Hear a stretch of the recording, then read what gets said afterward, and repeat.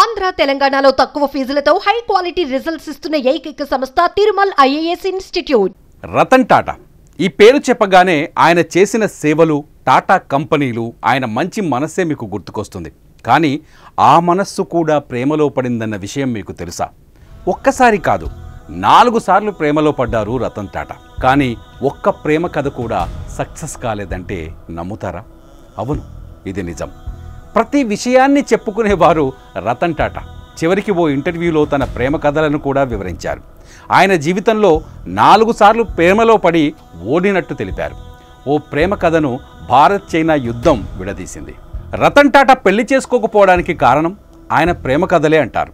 ప్రేమలో ఓడిపోవడంతోనే వైవాహిక జీవితానికి దూరంగా ఉన్నాడనేది ఆయన చెప్పిన విషయం.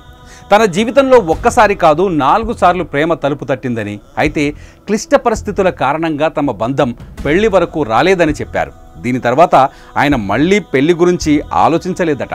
తన జీవితం మొత్తం దేశంలో టాటా గ్రూప్ వ్యాపార సామ్రాజ్యాన్ని విస్తరించడంపైనే పూర్తిగా దృష్టి పెట్టినట్లు వివరించారు.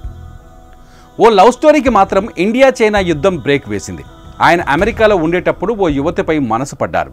ఆమెకు రతన్ టాటా అంటే ఇష్టం.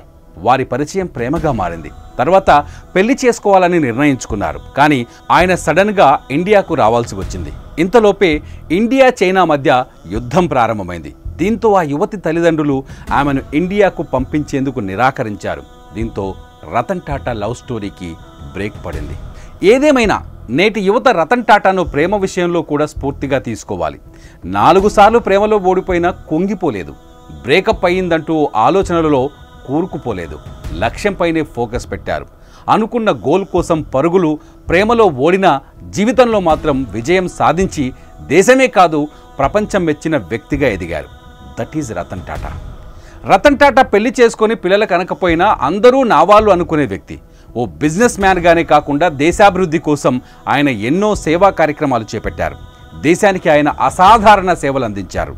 టాటా చారిటబుల్ ట్రస్ట్ ద్వారా విద్య వైద్యం గ్రామీణాభివృద్ధి రంగాల్లో విశిష్ట సేవలు తరతరాలు నిలిచిపోయి ఉంటాయి. ఆయనంత పరోపకార గుణం ఏ బిలీనియర్ కలిగి ఉండరేమో.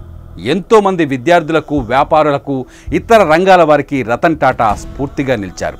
ఆయన మరణంతో దేశం ఓ మహోన్నతమైన వ్యక్తిని కోల్పోయింది.